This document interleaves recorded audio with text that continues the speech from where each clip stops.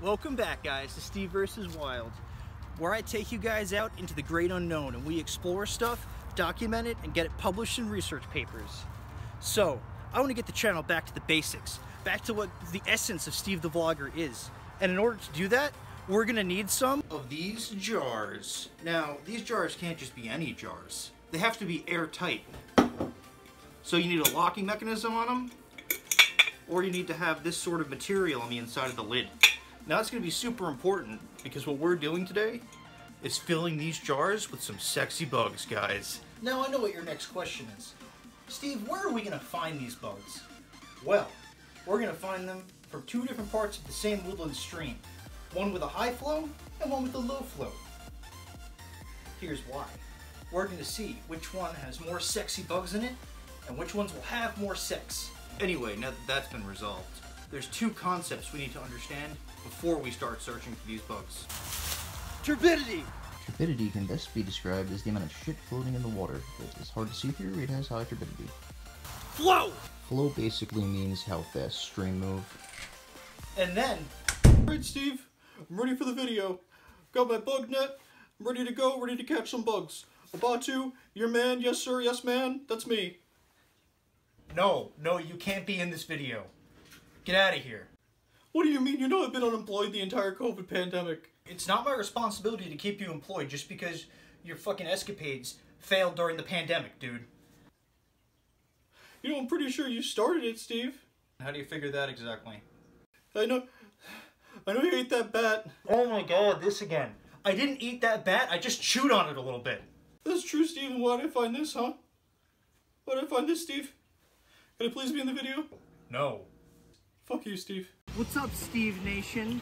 So we have these two jars, and like I said before, one of them we're gonna take from the low flow part of the river, and the other one we take from a high flow part of the river. So, let's get to it and see what sexy bugs are in which place. Steve the Vlogger is gloving up for the excellent adventure to find out which bugs are the sexiest. So what we want to try to grab is plants, uh, the top layer of the soil, which is where all the sexy bugs, the sexiest ones live at the top. And we want to get some of the water from the stream itself.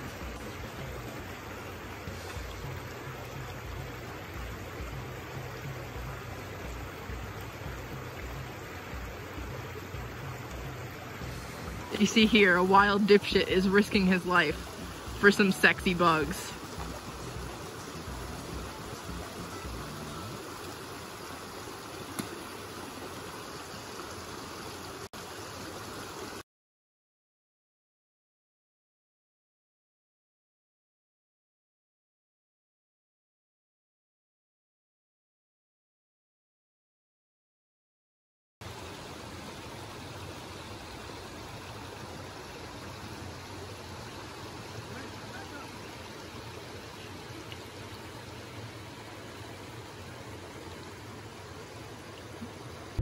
All right, Steve, how do we figure out which bugs are the sexiest?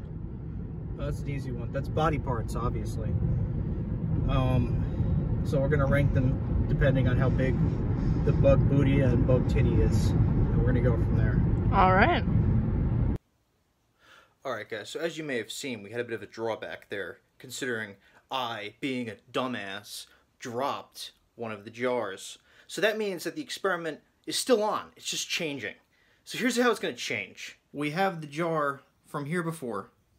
The experiment's still on, it's just changing a bit. It's too turbid right now to see many of the sexy bugs. As the week progresses and they show up, I will be recording them, and then we will rank them at the end of the week. So what we have here is a stonefly nymph. This is the first sexy bug to appear in our jar. Um, normally I would record it through the jar, however, this one is deceased. So I have to pose a question to you guys. Should he count on our poll for next week? Because is this technically necrophilia if we find him attractive? Let me know in the comments. Alright guys, that'll do it for now. Steve the Vlogger out.